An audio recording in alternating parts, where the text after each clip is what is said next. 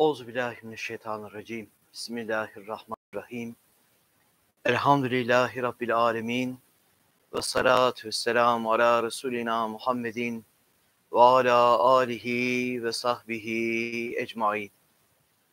Bu akşamki dersimizde Asay Musa'dan Meyve Risalesinden inşallah dördüncü meseleyi okuyacağız. Cenab-ı Hak istifademizi ziyade eylesin inşallah. Dördüncü mesele. Yine gençlik rehberinde izahı var. Bir zaman bana hizmet eden kardeşlerim tarafından sual edildi ki, küreyi arzı her cümerce getiren ve İslam mukadderatıyla alakadar olan bu dehşetli harbi umumiden 50 gündür, şimdi 7 seneden geçti, aynı hal hiç sormuyorsun ve merak etmiyorsun. Halbuki bir kısım mütedeyyin ve alim insanlar cemaati ve camiyi bırakıp radyo dinlemeye koşuyorlar. Acaba bundan daha büyük bir hadise mi var? Veya onunla meşgul olmanın zararı mı var? dediler. Cevaben dedim ki, ömür sermayesi pek azdır, lüzumlu işler pek çoktur. Birbiri içinde mütedahil daireler gibi her insanın kalp ve mide dairesinden ve ceset ve hane dairesinden, mahalle ve şehir dairesinden ve vatan ve memleket dairesinden ve küreyi arz ve nevi beşer dairesinden tut, tazi hayat ve dünya dairesine kadar birbiri içinde daireler var. Her bir dairede her bir insanın bir nevi vazifesi bulunabilir. Fakat en küçük dairede en büyük ve ehemmiyetli ve daimi vazife var. Ve en büyük dairede en küçük ve muvakkat ara sıra vazife bulunabilir. Bu kıyas ile büyüklük ve küçüklük maküsen mütenasip vazifeler bulunabilir. Fakat büyük dairenin cazibedarlığı cihetiyle küçük dairedeki lüzumlu ve ehemmiyetli hizmeti bıraktırıp lüzumsuz, malayani ve afaki işlerle meşgul eder. Sermaye hayatını boş yerde imha eder. O kıymetdar ömrünü kıymetsiz şeylerde öldürür ve bazen bu harp boğuşmalarını merak ile takip eden bir tarafa kalben taraftar olur onun zulümlerini hoş görür, zulmüne şerik olur. Tekrar baştan alalım. Dördüncü mesele yine gençlik rehberinde izahı var. Bir zaman bana hizmet eden kardeşlerim tarafından sual edildi ki küre arzı her cümerce getiren ve İslam mukadderatı ile alakadar olan bu dehşetli harbi umumiden 50 gündür şimdi 7 seneden geçti parantez içindeki not 1946 senesine aittir. Hiç sormuyorsun ve merak etmiyorsun.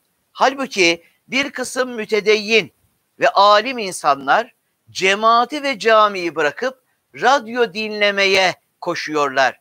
Acaba bundan daha büyük bir hadise mi var? Veya onunla meşgul olmanın zararı mı var? dediler. Şimdi üstadımız o zaman e, Kastamonu'da sürgün hayatı yaşıyor. E, Eskişehir hapsinden çıkınca onu Kastamonu'ya göndermişler üstadımızı.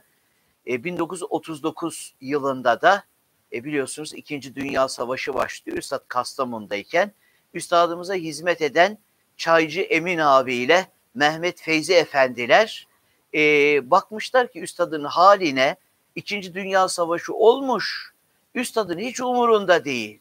Hiç merak etmiyor. Hiç sormuyor. Halbuki o zamanın alim, dindar insanları tam böyle yatsı namazından az evvel böyle başlayan ajans denilen haberler var. Radyolardan haber veriliyor. O zaman herkesin evinde radyo yok. Sade belli yerlerde var. Çay evleri, kıraathane, kahvelerde var. E millet bırakmışlar camiyi, cemaati kahvehanelere gidiyorlar, çay ocaklarına gidiyorlar ki acaba ne oldu? Alman ne yaptı yani? Rus ne yaptı? meraklarından camiyi, cemaati bırakmışlar, radyo dinleme gidiyorlar. Halbuki bu tarafta da Bediüzzaman Hazretleri hiç merak edip sormamış. Bu ilk hadise soru 50 gün sonra olmuş. Halbuki o yanında kaldıkları için onları iyi biliyor. 7 sene boyunca 1946'ya kadar savaş bitene kadar hatta savaş bittikten sonraya kadar Üstad hiç merak edip de sormamış ne oluyor diye. Tabi yanındaki talebeler merak etmişler ki bu kadar insan radyo dinlemeye gidiyor. E, Üstad dinlemiyor. Acaba bu ikinci dünya savaş, savaşı hadisesinden daha büyük bir dava mı var? Veya onunla meşgul olmanın zararı mı var diye sual etmişler. Hatta sualde antika bir nokta daha var değil mi? Bak küre-i arzı hercü merci yani bütün küre-i arzda yer küresinde dünyada kaosa sebep olmuş. Birçok yerler yıkılmış, birçok insanlar ölmüş. Dünyada böyle olduğu gibi o ikinci dünya savaşı bak tabir İslam mukadderatıyla da alakadar. İslamiyet'in geleceğiyle, İslam ülkeleri, İslam devletleriyle de çok alakadar bir savaş ama hiç merak etmiyor, hiç sormuyor. Acaba ondan daha büyük bir hadise mi var veya onunla meşgul olmanın zararı mı var dediler. Cevaben dedim ki ömür sermayesi pek azdır. Şimdi İkinci Dünya Savaşı yok ama şu anda savaş gibi değil mi bir korona musibetimiz var. O da böyle her gün canlar alıyor değil mi? Sadece e, Türkiye'de değil dünyanın bütün ülkelerinde hatta bütün büyük ülkelerde Amerika gibi Fransa, İspanya gibi yani ne ülkelerde acayip insanlar ölüyorlar. E şimdi bu insanı hakikaten meraklandırıyor değil mi? Hemen radyolara, televizyonlara, haberlere bakıyoruz ki acaba bugün kaç kişi öldü? Acaba kaç kişi iyileşti? Acaba yani ne zaman serbest olacağız? Ne zaman kurtulacağız evimizden? Ne zaman o açılacak? Ne zaman bu açılacak? Herkesin böyle değil mi? Alemi onunla meşgul. Hatta bazı insanlar var acayip korkuyorlar yani. Her şeyden hani havadan nem kapmak diyorlar ya her şeyden korona kapacağız diye öyle bir korku içinde korkularından hastaneye koşanlar var. Adamda hiçbir şey yok. Şimdi demek bazı meseleler var insanı öyle tahrik ediyor ki insana en mühim meseleleri unutturuyor. Şimdi İkinci Dünya Savaşı'yla bu meseleyi yan yana getirelim. Yani bu dersi e, İkinci Dünya Savaşı olmuş, üstadımız o imtihanı geçmiş, Nur Talebiler o imtihanı geçmiş. Şimdi bize de Dünya Savaşı değil ama böyle bir e, korona ile bir savaş mesela yani olmuş. Şimdi acaba biz ne kadar meraklıyız? Acaba yani namazlarımız, ibadetlerimiz, Kur'anlarımız, evratlarımız, eskarlarımızda ne kadar istikamet var? Veya ne kadar televizyon, işte efendim sosyal medya ile meşgulüz? Acaba ibadet, evrat eskarımızda, tesbihatlarımızda acaba noksaniyetler var mı? Acaba biz ön plana neyi alıyoruz? O manada inşallah kendi nefsimize herkes kendi nefsine ders almaya çalışsın inşallah. Ben de kendime alayım inşallah. Cenab-ı Hak lütfetsin, nasip etsin. O da bir nasip meselesi ya. Cevaben dedim ki ömür sermayesi pek azdır. Üstadın verdiği cevap birinci kısım bu. Ömür sermayesi pek azdır. Allah Allah. Ömrümüz ne kadar çabuk geçiyor. Şimdi insanlar geleceğe bakınca sanki daha çok varmış gibi geliyor ama şöyle geçmişe doğru bir baksak var ya ne kadar çabuk geçmiş. Herkes şu andaki yaşından itibaren geçmişe doğru bir baksa Allah Allah o 20 sene, 30 sene, 40 sene, 50 sene, 60 sene, 100 sene ne kadar çabuk geçmiş. Hiç anlamamışız yani. E peki e biz bununla ne yapacağız? Ebedi bir hayat kazanacağız. Subhanallah. Yani bir insan bin senede yaşasa o ömür ona az gelir yani. Ne yaparsan yap. Ömür sermayesi pek azdır. Dikkat lüzumlu işler pek çoktur. Peki bu az ömürle lüzumlu işlere ne kadar zaman harcıyoruz? Subhanallah. ömür sermayesi pek azdır. Lüzumlu işler pek çoktur. Birbiri içinde mütedahil daireler gibi her insanın kalp ve mide dairesinden. Şimdi lüzumlu işleri daha iyi anlayabilmek için bize bir harita çizecek Bediüzzaman Hazretleri. Yani bize en lüzumlu daireden başlayacak, en lüzumu az olana kadar bizim önümüze bir harita çıkaracak. Biz de orada kararımızı vereceğiz yani. Hangisi daha lazım, hangisi daha mühim. Dedi ki birbiri içinde mütedahil, iç içe girmiş, her insanın mütedahil daireler gibi her insanın kalp ve mide dairesinden ve ceset ve hane dairesinden, mahalle ve şehir dairesinden, vatan ve memleket dairesinden ve küreyi arz ve nevi beşer dairesinden tut tazi hayat ve dünya dairesine kadar dikkat birbiri içinde daireler var. Şimdi ilk saymaya başladığına ilk daire kalp dairesi. Sonra onun üstünde bir daire daha var. Ceset dairesi, beden dairesi. Onun üzerinde bir daire daha var. Hane, ev dairesi. Bir, bir biraz daha büyükler mahalle, biraz daha büyük şehir, biraz daha büyük memleket, biraz daha büyük küreyi arz ve dünya dairesi. Bak ne kadar iç içe girmiş bir sürü daireler var. En küçüğü kalp dairesi, en büyüğü bütün insanlık ve dünya dairesi. Her bir dairede her bir insanın bir nevi vazifesi bulunabilir. Yani en küçükten en büyüğe kadar her bir, her bir insanın bir çeşit bir nevi vazifesi bulunabilir. Fakat dikkat. En küçük dairede en büyük ve ehemmiyetli ve daimi vazife var. Bak üç tane şey saydı. En küçük dairede en büyük vazife. Bir. iki en ehemmiyetli vazife. Üç, daimi vazife var. Diğer dairelerde vazifelerimiz belli zaman dilimleriyle sınırlı olabilir. Hatta bellisinde hiç vazifemiz olmayabilir. Bellisinde bir iki dakika, beş on dakika vazifemiz olabilir. Sonra biter. Ama en küçük daire olan kalp dairesinde bir en büyük vazife var. İki en ehemmiyetli vazife var. Daha antikası üç daimi vazife var. Subhanallah. Peki en büyük dairede en küçük ve muvakkat yani olsa bile çok kısa zaman dilimlerinde ara sıra vazife bulunabilir. Şimdi hangisi daha kıymetli? En küçük daire mi? En büyük daire mi? Ama görünüşte en büyük daire. Neden orada ne var? Şaşa var. Ama halbuki en küçük daire ne? Bir, en büyük vazife var. İki, en ehemmiyetli vazife var. Üç, daimi vazife var. Allah Allah. Bu kıyas ile küçüklük ve büyüklük maçusen mütenasip vazifeler yani ters orantılı vazifeler bulunabilir. Şimdi Emirdağ layıkasında üstadımızın e, bir lakap taktığı bir abi var. Boyu küçükmüş ama öyle bir ruh var ki 700 tane risaleyi el yazması olarak yazmış. Üstadımız ona büyük ruhlu küçük Ali demiş.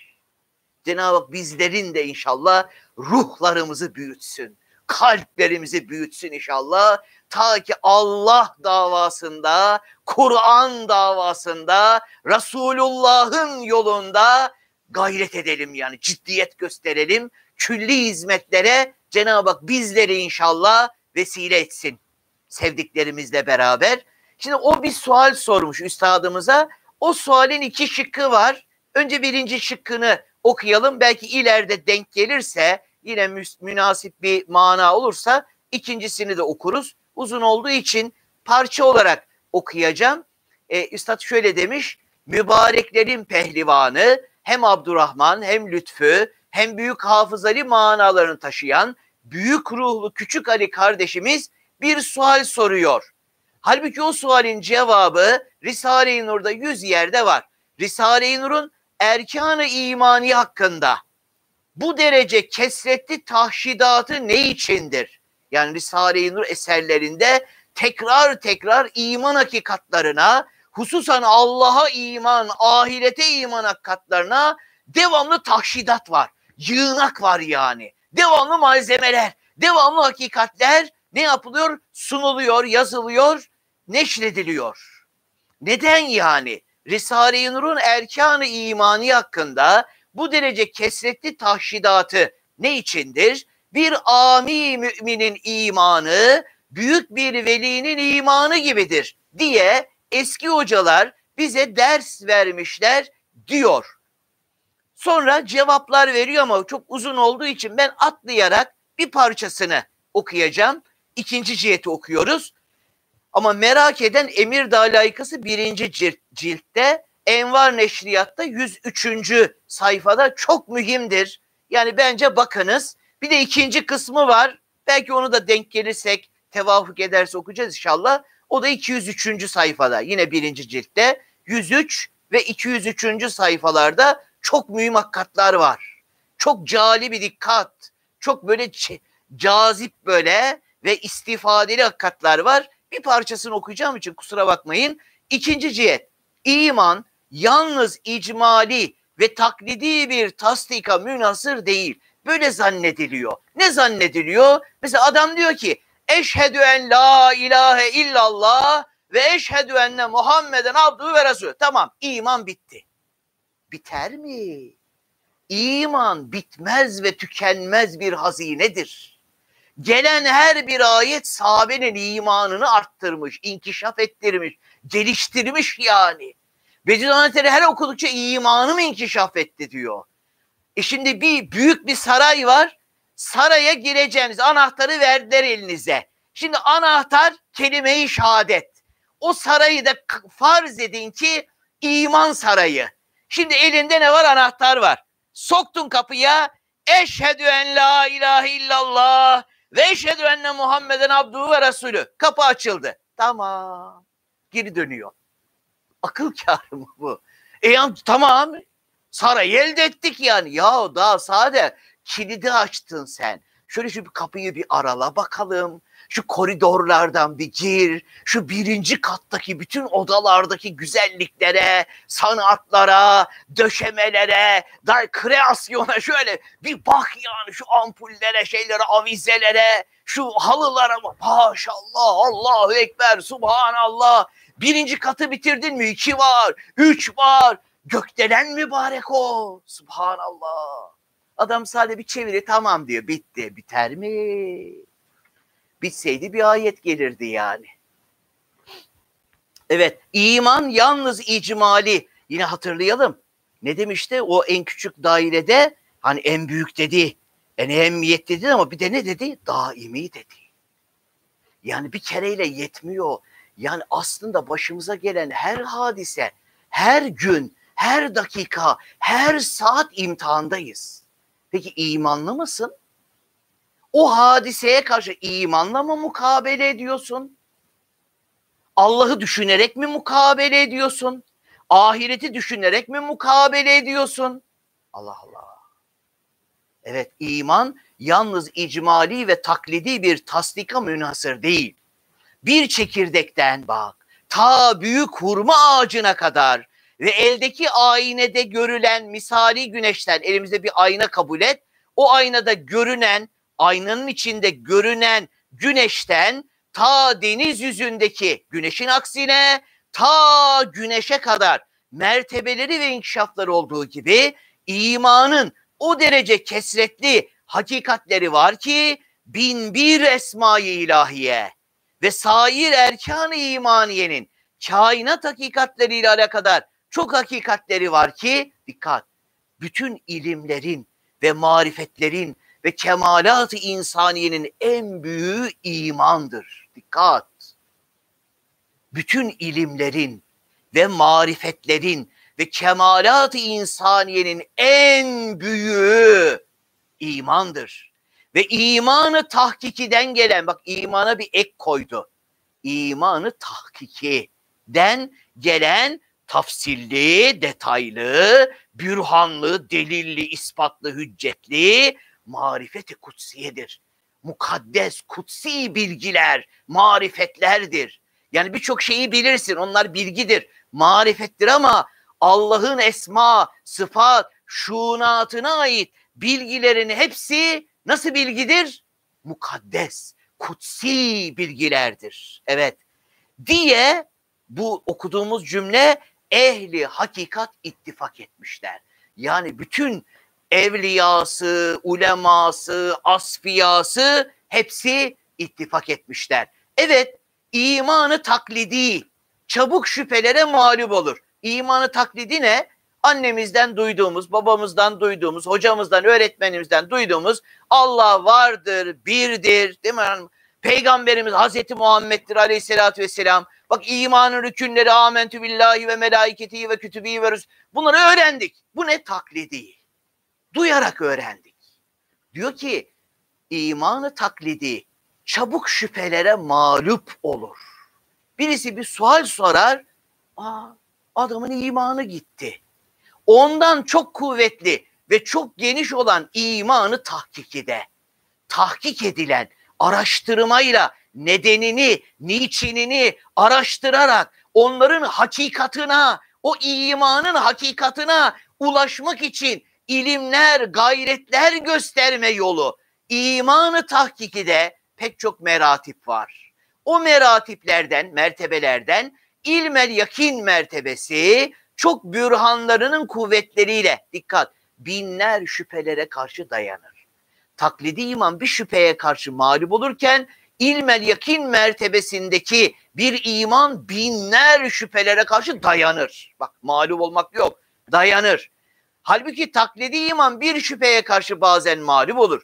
Hem imanı tahkikinin bir mertebesi de aynel yakin mertebesidir ki pek çok mertebeleri var. Dikkat çok acip bir şey geliyor. Belki esma-i ilahiye adedince tezahür dereceleri var.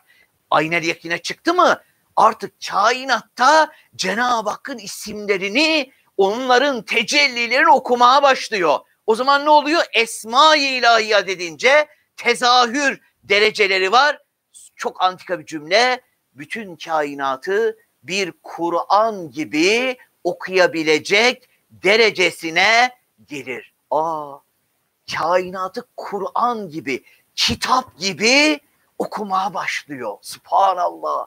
E onda tereddüt olur mu? Onda şüphe olur mu? Onda vesvese olur mu? Şüpheler, vesveseler onu sarsabilir mi? Okuyor yahu. Kainat kitabını okuyor. Her yerde Allah'ın esma ilahiyesinin tecellilerini görüyor. Subhanallah. Hem bir mertebesi de hakkal yakindir. Onun da çok mertebeleri var. Dikkat. Böyle imanlı zatlara şübehat orduları. Yani bir kişinin şüpheleri değil şüphelerden ordular olsa, hücum da etse bir halt edemez. Allah Allah. Demek Risale-i Nur işte bununla bizi, bununla yetiştirmeye çalışıyor. Bizi böyle terakki ettirmeye çalışıyor. Üstadımız da bu İkinci Dünya Savaşı'na bu dersi veriyor ki her an seyrettiğimiz filmlerden, izlediğimiz dizilerden, şarkılardan, türkülerden, dünya hadiselerinin haberlerden devamlı sorular, şüpheler, vesveseler, okullarda okuduğumuz ders kitaplarından sorular, şüpheler, vesveseler iç dünyamızda dop dolu zaten ve halen de doluyor. Peki buna mukabil ne lazım? İmanın daimi olarak kuvvetlendirilmesi lazım.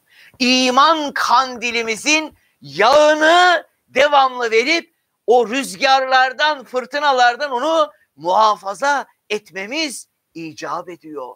Onun için İkinci Dünya Savaşı'ndan da koronadan da bu daha mühim. Çünkü ne yaparsan yap, ecelin geldiyse korona morana bir şeyle Cenab-ı Hak seni alacak.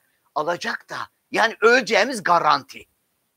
Kesin öleceğiz yani. Hiç ölmeyeceğiz zannetmeyelim yani. Garanti öleceğiz yani. Ama nasıl öleceğiz? Yani o öleceğimizde bizim şeyimiz yok. Ecelimizde bizim irademiz yok. Ama nasıl öleceğimizi tayin o bizim irademize bakıyor. Eğer biz Kur'an'la, iman hakikatlarıyla, namazla, ibadetle, evratla, eskarla, istiğfarla, salavatla, hayırla, hasenatla, başkalarına Allah'ı, peygamberi, dini tebliğ ede ede böyle bir hayat yaşarsak e o zaman nasıl yaşarsanız öyle ölürsünüz demiş Peygamber Efendimiz aleyhissalatü vesselam. Nasıl ölürseniz de öyle dirilirsiniz diyor. Yani bak bizim elimizde bir irade var. O zaman ne yapalım? O en küçük daire olan kalp dairesini devamlı takviye etmek lazım. Devamlı güçlendirmek lazım. Hani hepimiz şimdi cep telefonu kullanıyoruz değil mi? Bak böyle laptoplar var önümüzde. E bunların devamlı şarja takılması lazım. Evet pilleri var ama şarjı devam ettirmezsen bir müddet sonra pil bitiyor. Bir bakıyorum görüntü gitti. Tam konuşuyorsun hop gittin. Aa dur şarjı bitmiş. E şimdi senin telefonun şarjı oluyor da kalbinin şarjı olmayacak mı yani? Aa, onun için devamlı şarjda takmak lazım.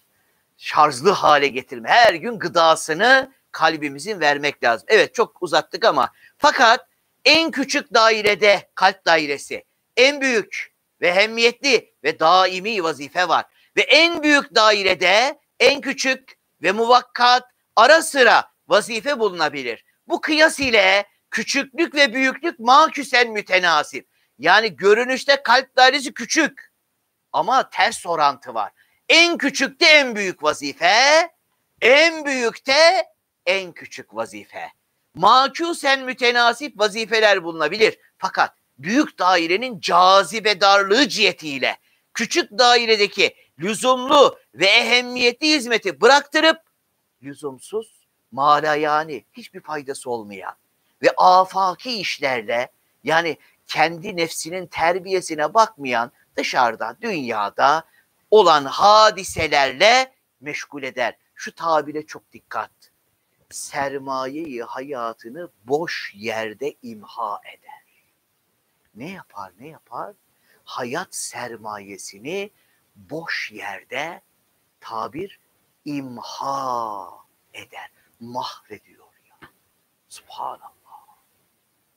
Sermayeyi hayatını boş yerde. Yani birileri bir senaryo yazıyor, filmler yazıyor. Sen de onu seyrediyorsun. Ya adam yazıyor ya. İsterse öldürüyor, isterse diriltiyor. Ölmemişmiş meğer sen yani. Halbuki sen üzülmüştün yani. Sevmiştin adamı dedin veya kadını. Ya işte üzül vah vah yani gitti yani. Bir bakıyorsun tekrar çıkmış. Ya kalem adamın elinde. İstediği zaman bitiriyor diziyi. istediği zaman devam ettiriyor. Ya sen buna ne takılıyorsun? Bunun senin dünyana da faydası yok. Ahiretine de faydası yok. Ne oluyor? Giden ne? Ömür sermayesi gidiyor. Allah Allah. Böyle evliyadan bir zat. Kur'an'da vel asr suresi var ya Allah orada zamana yemin ediyor. Bir türlü bunu anlayamıyormuş. Allah niye zamana yemin ediyor yani? Bir gün böyle eski zaman ya çöl taraflarında böyle çok sıcak böyle bir ülkede talebeliyle giderken adamın biri de o sıcak havalarda buz satıyormuş. Adam bakmış kimse almıyor buzu ve buz e, sıcağın altında buz ne olur? İrir. Adam bağırıyormuş böyle ne olur alın ne olur alın. Yakaladığı adamı elinden tutuyormuş böyle buz al buz al diye böyle. Bu alim zat kızmış. Demiş ya sen niye millete zorla satmaya çalışıyorsun ki demiş yani. Niye böyle yapıyorsun? Ya demiş efendi efendi sermaye veriyor demiş. Gidiyor. Bayılmış o zat orada. Hemen kaldırmışlar. Demişler ki efendim hayırdır ne oldu? Demiş ki ben demiş Kur'an niye zamana yemin ediyor anladım demiş bu adamdan. Yahu demiş bizim ömrümüzde o buz gibi eriyor, eriyor. Bak bu adam eriyor diye nasıl çırpınıyor. Şimdi bizim zamanımızda eriyor. Ne yapıyoruz? Televizyon seyredelim, film seyredelim, maç seyredelim. Ha ha ha, hi hi hi, geyik muhabbeti. Ya ne yapıyorsun? Sermayeyi hayatını boş yerde Allah Allah imha eder. Yine çok antika cümle bunlar ya. Allahu Ekber. O kıymettar ömrünü kıymetsiz şeylerde öldürür. Kıymettar ömrünü yani her bir dakikası cennette ebedi köşkler, ebedi ırmaklar, ebedi huriler, ebedi bir saltanat. Her bir dakikası ebedi bir saltanatı kazandırabilecek, ebedi bir mülkü kazandırabilecek bir sermayeyi neticesiz, boşu boşuna öldürmek yani. Allah Allah. Hani öyle anlatırlar ya eskiden adamın birisinin bir tavuğu varmış altın yumurtluyormuş. Adam bakmış ki her gün altın yumurtluyor. Bak sabretmiyor adam. Demiş şimdi bunun içinde ne kadar altın vardır? Tavuğu kesmiş. Bir bakmış ki hiç altın altın da yok yani. Tavuk da gitti. Altınlar da gitti. İşte tabiri zat olmasın. Şurada bir cümle var. Hastalar Risalesi'nde 19. devada şöyle bir ifade kullanıyor. Bu arada zamanımız ne oldu inşallah uzatmadan. Diyor ki orada yine bir parçasını atlayacağım. Yani hepsi çok çok kıymetli yerler ama diyor ki hayat daima sıhhat ve afiyette yeknesak tek düze gitse yani devamlı sağlıklısın. Hiç hastalık, baş ağrısı, işte işte baş dönmesi, işte şu bu çeşitli üşüttü, müşüttü, or ağrıdı, bu ağrıdı olmasa nakıs bir ayna olur. Hayat noksan bir ayna olur.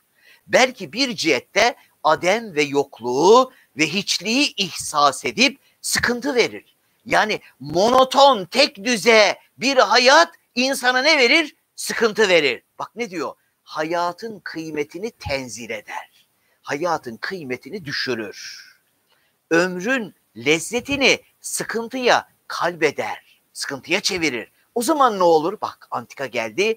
Çabuk vaktimi geçireceğim diye sıkıntıdan ya sefahete, eğlencelere, haramlara, günahlara veya eğlenceye atılır. Ya sefahete, haramlara, günahlara ya eğlenceye atılır. Dikkat! Hapis müddeti gibi kıymettar ömrüne adavet edip çabuk öldürüp geçirmek istiyor.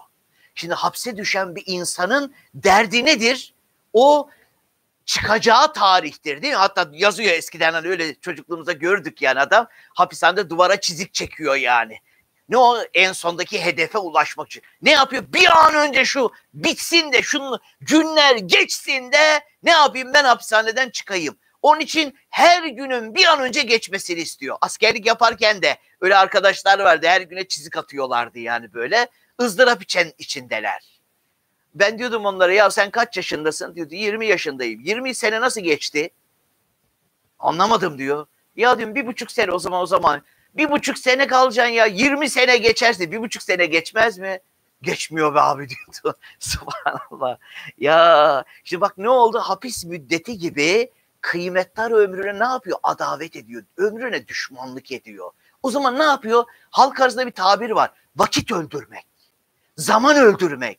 Ya vakti zamanı niye öldürüyorsun? O vakit, o zaman senin sermayen, ebedi bir cennet onunla kazanılacak. Sen ne yapıyorsun?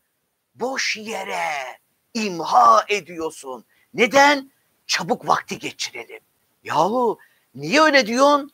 Halbuki Kur'an okusan okudukça için açılacak. Okudukça lezzetler, feyizler gelecek. Hele diyelim o Kur'an'ın hakikatlarını izah eden Risale-i Nur gibi eserler Allahu Ekber, Subhanallah diyeceksin ki ya şu vakitler biraz daha açılsa da yani genişlese de daha çok okusam, daha çok imanım artsa, namaza duracağım böyle Allahu Ekber ayetleri tek elhamdülillah ne yapıyorsun? Ya öyle bir lezzet ki yani.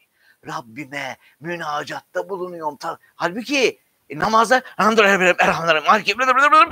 Esselamu Esselam da bitti. Ama oradan maç bitmesin. Film bitmesin. Şu muhabbet bitmesin. Nefis nasıl kandırıyor bizi. Eyvah eyvah. Evet.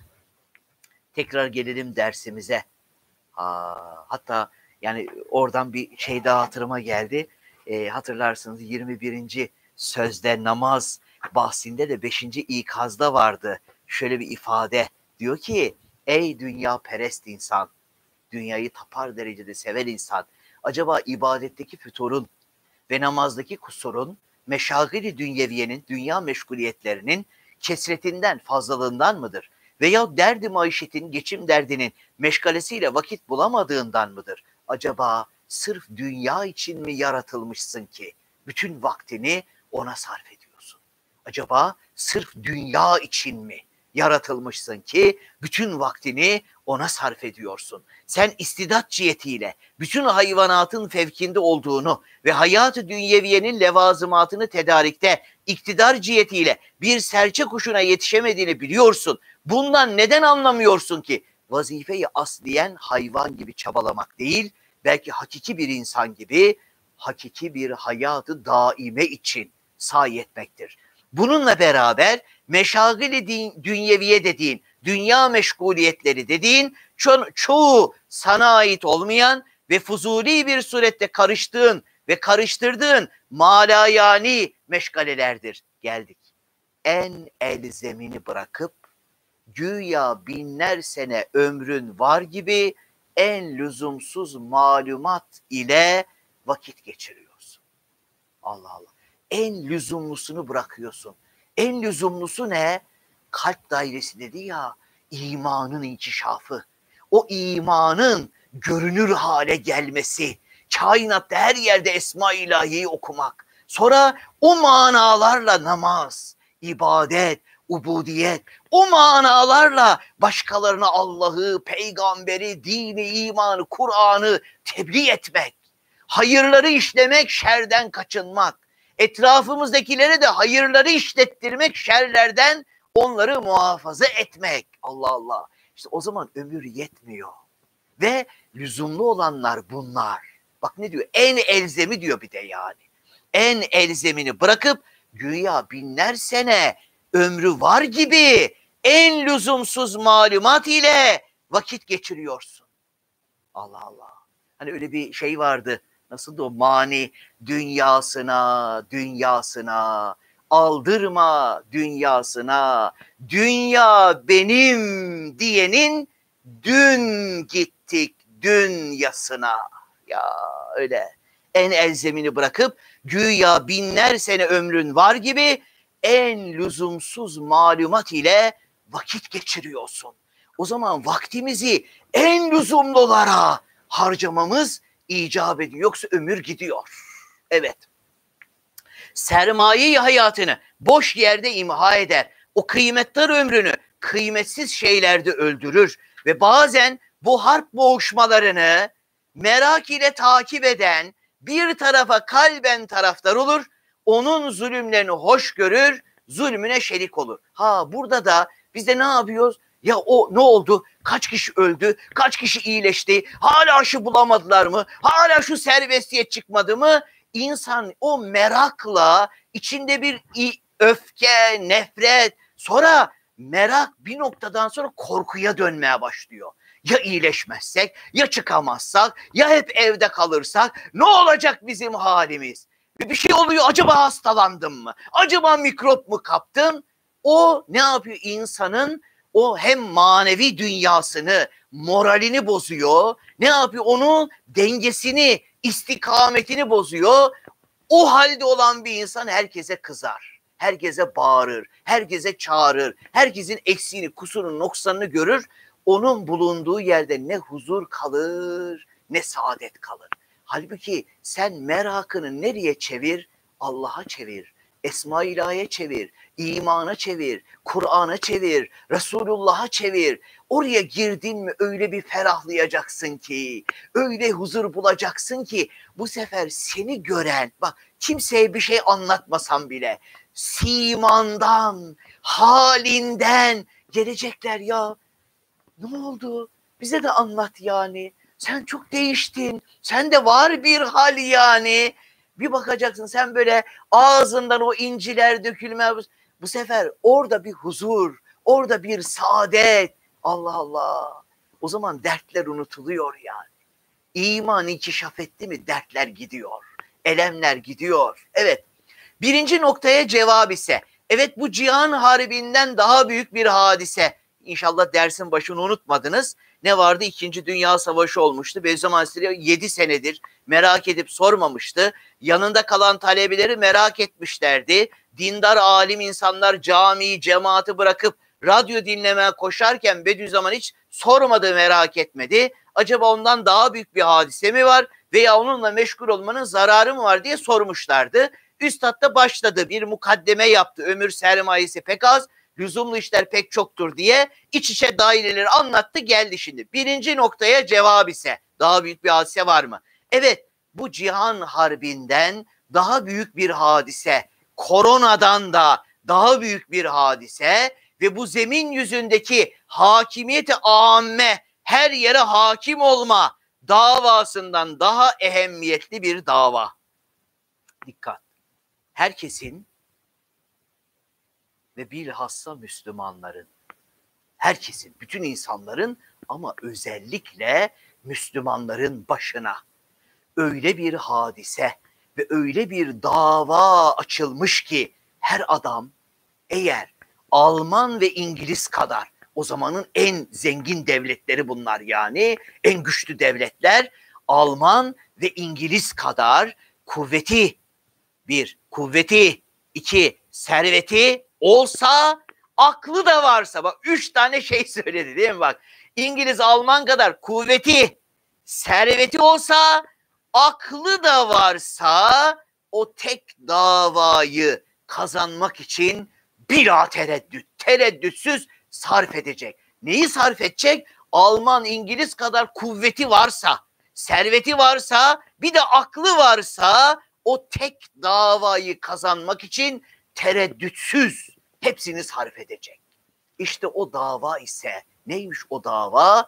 Yüz bin meşahir insaniyenin yani bütün enbiyalar, peygamberlerin ve hadsiz nevi beşerin yıldızları ve mürşitlerinin, evliyaların, alimlerin müttefikan, ittifakla kainat sahibinin ve mutasarrıfının Allah'ın binler vaat söz vermeleri ve ahitlerine yemin etmelerine istinaden haber verdikleri ve bir kısmı gözleriyle gördükleri şu ki dava herkesin iman mukabilinde şart iman iman mukabilinde bu zemin yüzü kadar bağlar ve kasırlar ile müzeyyen yeryüzü kadar, dünyamız kadar, küre arz kadar bağlar, bahçeler ve kasırlar, köşkler, saraylar ile müzeyyen, tezyin edilmiş, süslenilmiş, baki ve daimi bir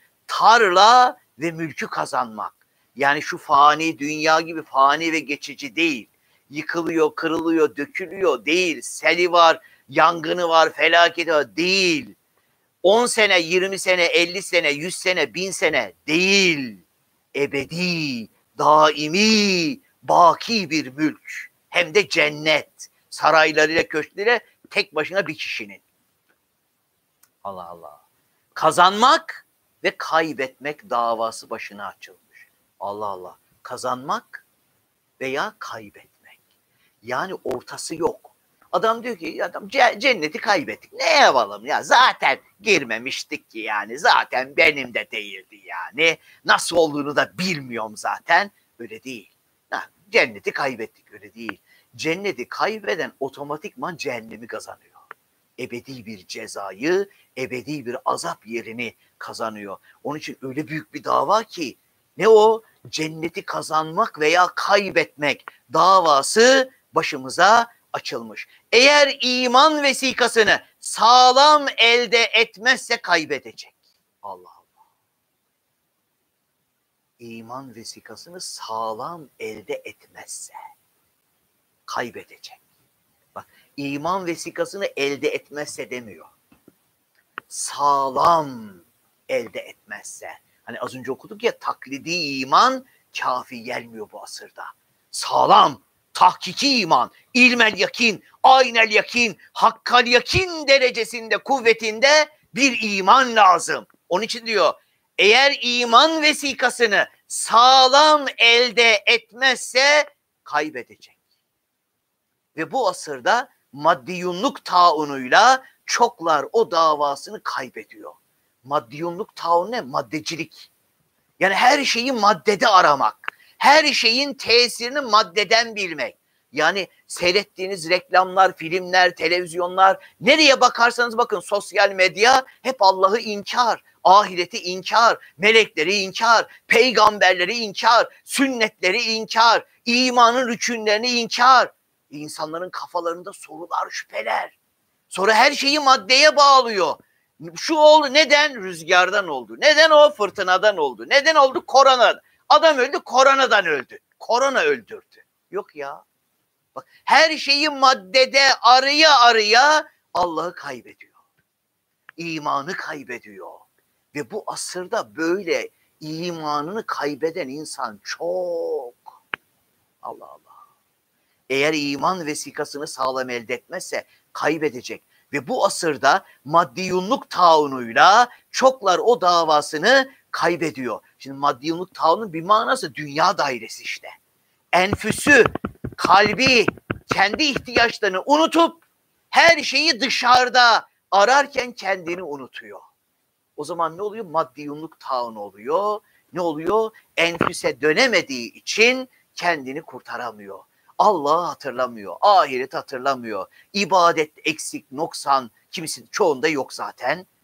Evet, maddiyunluk taunu çoklar o davasını kaybediyor. Hatta bir ehli keşif ve tahkik bir yerde 40 vefiyattan, 40 ölümden yalnız birkaç tanesi kazandığını sekeratta ölüm anında müşahede etmiş, ötekiler kaybetmişler. Şu cümleye dikkat. Acaba bu kaybettiği davanın yerini bütün dünya saltanatı o adama verilseydi doldurabilir miydi? Allah Allah. Acaba bu kaybettiği davanın yerini bütün dünya saltanatı o adama verilse doldurabilir mi? Subhanallah. İşte o davayı kazandıracak olan hizmetleri ve yüzde doksanına o davayı kaybettirmeyen harika bir dava vekilini o işte çalıştıran vazifeleri bırakıp ebedi dünyada kalacak gibi afaki malayaniyat ile iştigal etmek tam bir akılsızlık bildiğimizden biz Risale-i Nur şakirtleri Cenab-ı Hak bizi de onların içine dahil etsin inşallah. Biz Risale-i Nur şakirtleri dikkat her birimizin yüz derece aklımız ziyade olsa da ancak bu vazifeye iman vazifesine, kalp dairesine sarf etmek lazımdır diye kanaatımız var. Vaktimiz çok az kaldı ama o şeyden de bir parça okumak hani Risale-i Nur ne diyor yani yüz derece aklımız ziyade olsa bu davaya sarf etmemiz lazım. E 40 vefattan da ancak bir iki tanesi kurtul kurtarıyor, diğerleri kaybediyor. Acaba yani bu imanımızı kurtaracak değil mi bir dava vekili olsa hani şimdi diyelim e, adamın bir işi düşse mahkemeye suçlansa diyelim dava edilse dava da çok böyle tehlikeli bir dava olsa kaybetse her şeyini kaybedecek adam da diyelim çok zengin ne arar? Süper bir avukat arar değil mi? Yani hiç dava kaybetmemiş en zorlu davalardan tereyağdan kıl çeker gibi çıkmış Ücreti ne de olsa ne yaparız? Aman aman yani kazanalım yoksa her şey gidecek yani. Şerefimiz de gidecek, para pul mal mülk de gidecek. Ne yaparsın o avukatı alırsın. Şimdi bu meselede de öyle. Risale-i Nur diyor üstadımız tam avukatı yani. İman dairesinin, kalp dairesinin tam avukatı. Yani iman sağlamlaştırma, kuvvetlendirme ve kurtarmada Allah'ın izniyle bu asırda üstüne yok yani. Bir parça okuyacağız. Vakit çok az kalmış. Gördüm oradan vakti. Hızlandırıp bitireceğim inşallah. Diyor ki halbuki Allah'ı bilmek. Hani birçok insan var ya Allah var diyor. Hatta deizm diyor. Allah var gerisi yok diyor yani. Allah'ın varlığına çok insan artık eskisi gibi komünizm, dinsizlik o çöktüğü için, yıkıldığı için şimdi kendilerini teselli almak için tamam Allah var diyor. Ben Allah'ı biliyorum diyor. Allah'ı bilmek senin bildiğin gibi bilmek değil. Nasıl bilmek? Allah'ı bilmek bütün kainata ihata eden rububiyetine. Yani Allah'ı bilmek ne demek? O Allah ki kainattaki bütün varlıkların, bütün zerre, zerrelerini yapan o, yaratan o, işlettiren o, devam ettiren de o. Bütün kainata ihata eden rububiyetine ve zerrelerden yıldızlara kadar, cüz'i ve külli en küçükten en büyüğe kadar her şey onun kabzayı tasarrufunda, tasarruf elinde avucunda ve kudret ve iradesiyle olduğuna kat'i iman etmek. İşte Allah'ı bilmek bu demek işte. Eğer böyle bilmiyorsan kendini kandırma o bilmek değil. O inkar etmemek mecburiyetinden gel. Tamam tamam biliyorum kendini kandırma. O Allah'ı bilmek demek değil. Onun için Allah'ı bilmek bütün kainata ihata eden rububiyetine ve zerrelerden yıldızlara kadar cüz'i ve külli her şey onun kabzayı tasarrufunda kudret ve iradesiyle olduğuna kat'i iman etmek. Zerreden yıldızlara en küçükten en büyüğe korona o da onun elinde. Ya işte Çin yapmış onu da yani insan imala. E insanı yaratan kim? İnsana o zekayı veren kim? Ya Allah. Ya o, işte o şeymiş. İnsanı e, zarar veriyor mu? Veriyor. Yine dizgini Allah'ın elinde. Emir ve iradesi havl ve kuvvet olmazsa hiçbir şey, hiçbir şeye müdahale edemez. Yine dizgini Allah'ın elinde.